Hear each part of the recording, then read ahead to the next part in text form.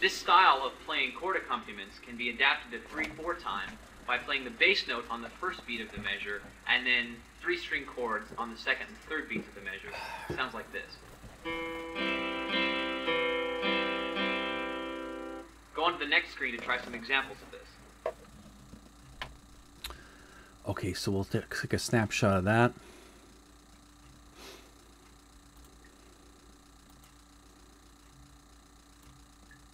Oh, I've been thinking. That's not what I meant to do. This style of playing chord accompaniments can be adapted to 3-4 So we're going to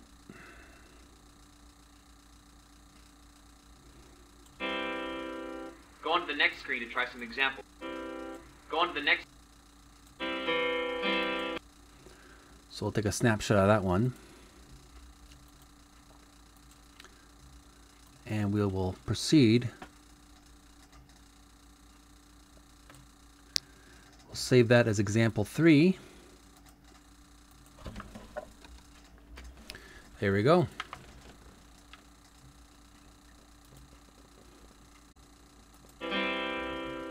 Go on to the next screen to try some examples of this. Okay, so we'll move on to the next example. We'll